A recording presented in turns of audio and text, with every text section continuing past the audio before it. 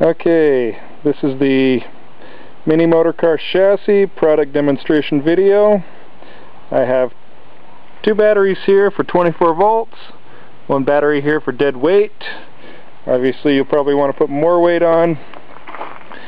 Here's what controls the entire thing. Here's our motor controller and the RC receiver. You can use whatever you like. The RC receiver is most convenient for this test.